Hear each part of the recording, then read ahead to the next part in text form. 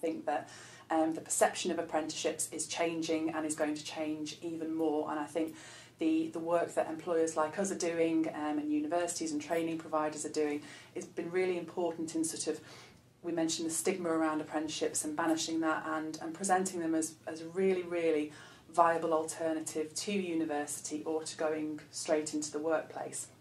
And I think when it comes to apprenticeships, you're getting the best of the best of those both those worlds. Um, and I think university perhaps doesn't hold the sway that it that it once did when it comes to um, when it comes to employers in the future. And I think, um, as, as Ryan and Dan both said, the advantage that they're getting is that they're they're learning on the job. Um, and in, in many cases, once you've been to university and you start a job, you need to do professional qualifications anyway.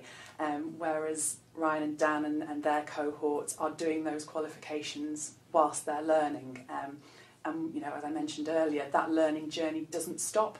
So there's nothing to stop them in the future going on to do level five, level six qualifications, which which takes them to that kind of that degree level.